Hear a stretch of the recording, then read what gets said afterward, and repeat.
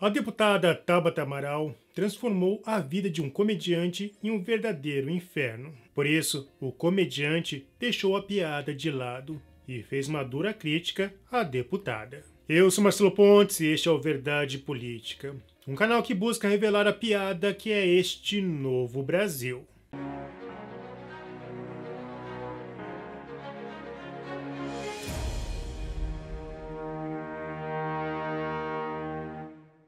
O progressismo está de fato se tornando uma onda progressista, mas não de boas mudanças. Através de uma cartilha rigorosa, está criando um comportamento fascista nas pessoas. Em nome de uma sensibilidade que beira a doença, movimentos estão agindo como verdadeiros caçadores de bruxas. Todas as áreas estão sendo afetadas e o cidadão comum já está com medo de fazer uma piada e ser preso na rua. As leis pelo mundo sempre analisam a proporcionalidade. Ou seja, quando alguém debocha ou faz alguma piada, qual o real dano que ele criou? A maioria das pessoas que frequentam stand-up sabe diferenciar um personagem e uma piada da vida real, mas um progressista não. Há uma grande discussão pelo mundo sobre o limite do humor, uma discussão que não deveria existir pois a resposta é simples. O limite do humor é a graça. No momento que o humorista faz uma piada ruim e o público não gosta, esta já é a maior penalidade para ele. Tenha certeza que no próximo show ele nunca mais irá fazer a mesma piada. Porém, os progressistas querem mais, querem impor a sua visão de mundo. E aqueles que discordam vão para a ponta de algum fuzil figurativo. A imposição da visão é claramente um ato fascista, pois a punição é seletiva. Ou seja, apenas um lado não pode ser achincalhado em uma piada humorística. Para grande parte do povo brasileiro, o especial de Natal, realizado todos os anos pelo Porta dos Fundos, é uma ofensa gravíssima. Ofender Jesus ou Maria para os cristãos é tão grave quanto ofender uma mãe. Fico imaginando como o comediante Porchat reagiria se alguém zombasse da sua mãe na mesma moeda. Com certeza, teríamos um robusto processo. Se de fato a lei respeitasse a proporcionalidade, o desrespeito a símbolos cristãos seria gravíssimo. Porém, chamar um gordo de gordo pode ter um peso maior.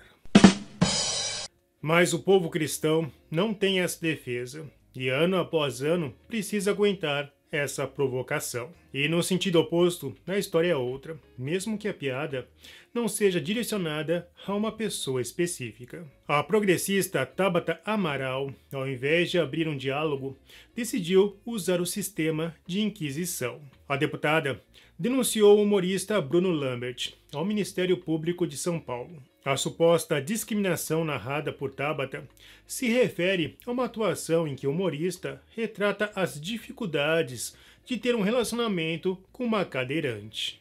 Na denúncia, Tabata afirma que o humorista cometeu capacitismo, que é uma discriminação contra pessoas com deficiência. Piada é chacota, e se os humoristas começarem a se preocupar com a sensibilidade de todos os progressistas, só restará fazer piada com os símbolos cristãos. A Gazeta do Povo, o humorista, afirmou: As pessoas estão com uma dificuldade gigantesca de diferenciar o CPF do personagem que está ali no palco, de entender o que é piada e o que é realidade. O humorista não é famoso e por isso dependia de seu trabalho no banco. Devido às proporções que o caso tomou após a denúncia de Tabata, o humorista perdeu seu emprego. Foram nove anos de dedicação ao banco e bastou uma piada e uma deputada para destruir essa história de competência. Essa deveria ser a verdadeira piada.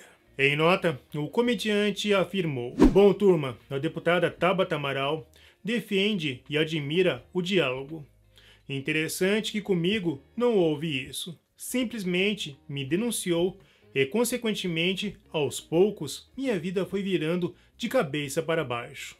Hoje foi demitido e não acredito que seja coincidência. Acredito que seja mais um ônus por ser comediante e a exposição que a deputada me deu com a denúncia acabou antecipando esse ônus. Beleza, ok, faz parte. E que um novo ciclo se inicie. Não sei, deputada, mas eu esperava que você, formada em Harvard, super antenada na causa da educação, conhecesse o que Carlos Drummond de Andrade nos ensina sobre diálogo. Dialogar é dizer o que pensamos e suportar o que os outros pensam. O diálogo era importante e não houve. Vou dormir angustiado e triste, porém convencido que a jornada só está começando. Como já mostrei, o Brasil é um dos países que judicializa tudo. E por isso estamos mais próximos de uma União Soviética ou China. De 2011 a 2021, o Brasil foi o terceiro país que mais perdeu liberdade de expressão. Só perdeu para Hong Kong e Afeganistão. Agora, o governo Lula avança com novas leis e piadas que um grupo achar caluniosas poderá colocar o comediante na cadeia. Antes faziam piada sobre aqueles que achavam que o Brasil poderia virar uma Venezuela. Agora a piada perdeu a graça. Bom, se você gostou desse vídeo, não se esqueça, você financia o trabalho do Verdade Política, então curta, comente e compartilhe.